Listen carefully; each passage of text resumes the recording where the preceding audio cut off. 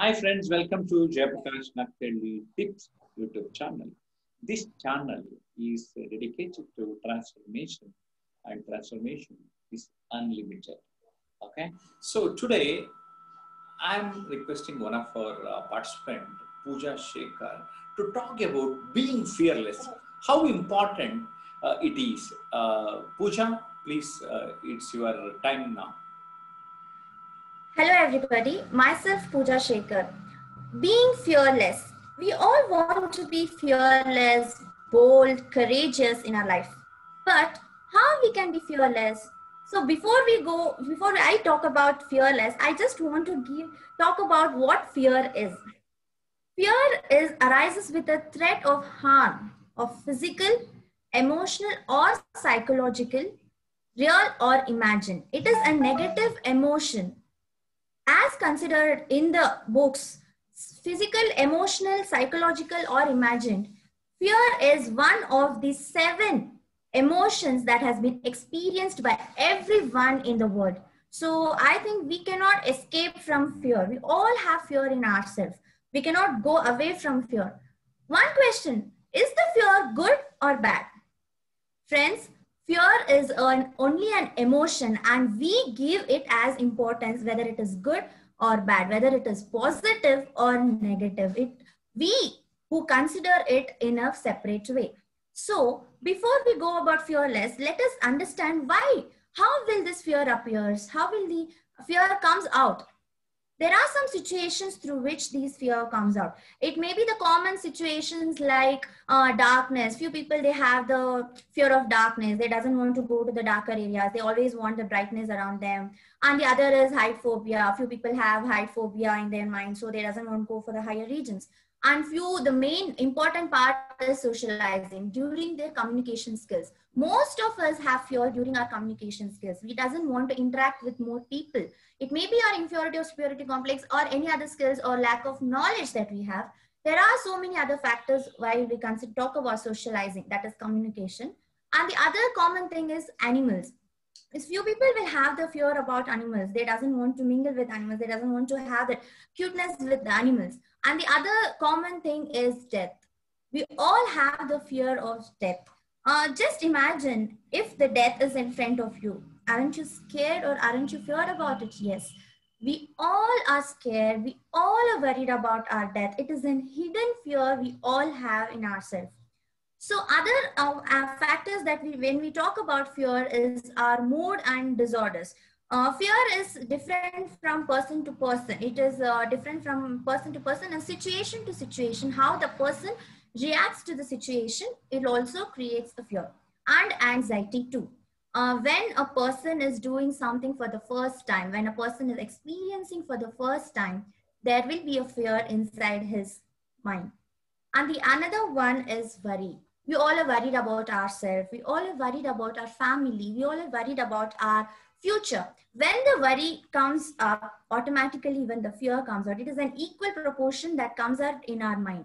So these are the factors where we can talk about uh, fear. Then how do we recognize fear? How do we come up that oh yeah we having fear in ourselves? Through our facial expression. When few people have their different facial expressions through that we can understand that a, a person is scared or is in fear on his vocal expression. When his voice expression that his voice volume increase or decrease we can come up that the person is in fear. And the another his sensation. When he tighten up his muscles when he starts shivering we can understand okay the person is in shiver. And his body language his posture. He may be either mobilizing or immobilizing or he may be freezing or sweating.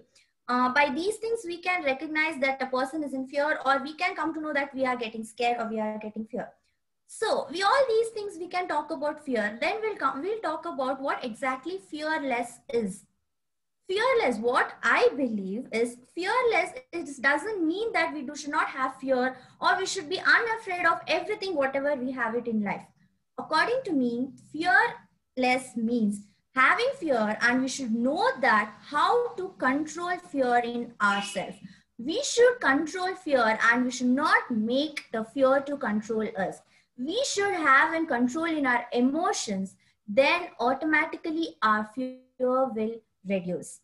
So life, living positively with the fear is called fearless. So there is a no, there is no proper definition or an equation for fearless. We cannot tell this is what fearless is.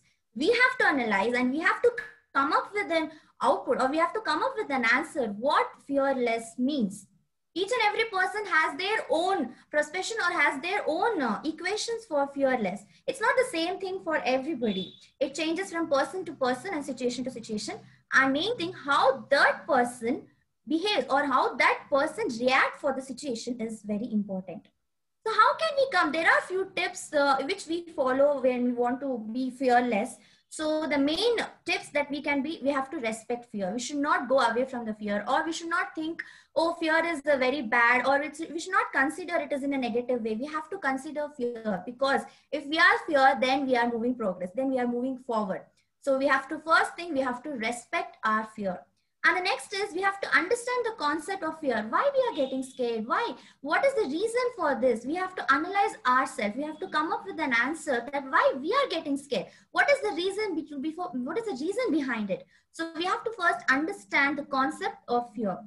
And the next is explore the origin of fear. There are three basic origins of fear. That is through biologically that is whether we are sweating or we are scared or there is any changes that happens biologically that is also an important factor of fear and the second one is through our past experience. When we have a bad experience about certain situations then automatically we get scared and we get fear. So that is also an origin of fear.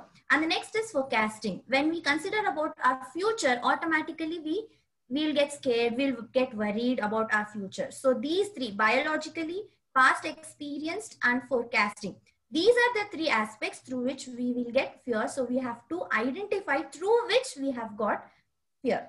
And the next is we have to build more confidence on ourselves. If we build more confidence on ourselves, then automatically the fear will reduce and we will be more confident and we'll be more bold and we'll be more uh, we'll be more courageous about it. And the next is we have to over prepare about the concept, but we should never overact for the situation.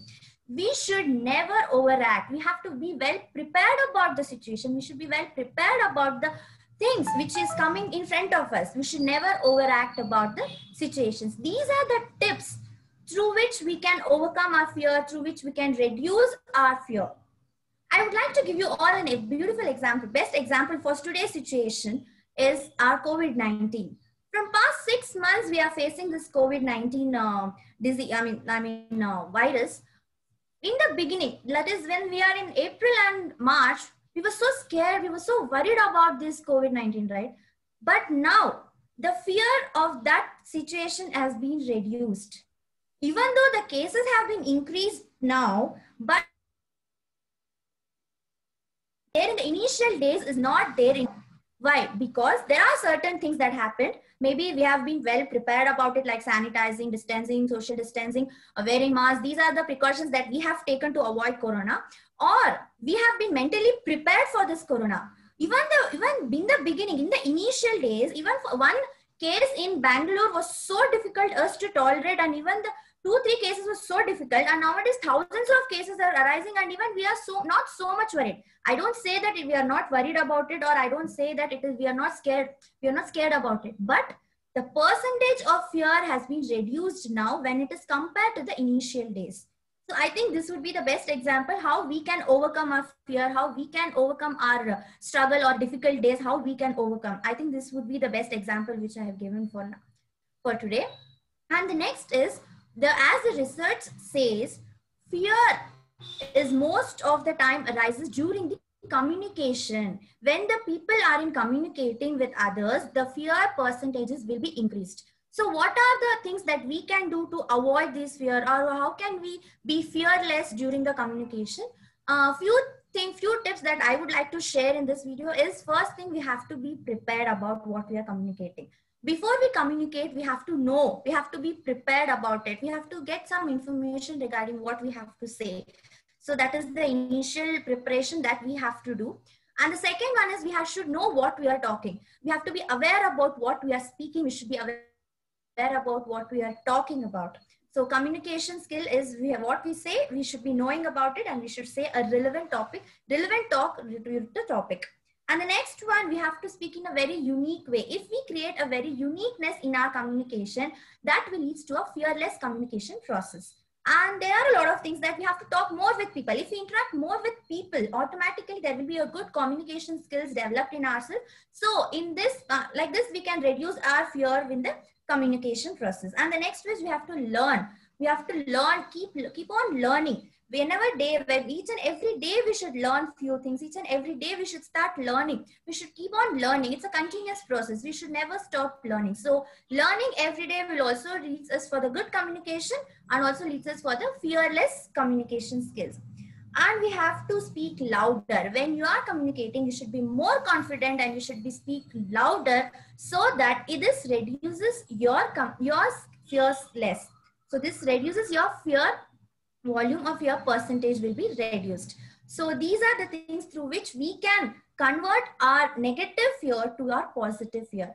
And at the end, what I wanted to tell you is we want to create and fear less in ourselves. It is just an emotion that we created and we have to give it a beautiful output by giving it an uh, nice um, uh, communication or giving it a very beautiful uh, appearance to it. So what I want to tell is convert your fearness to awareness.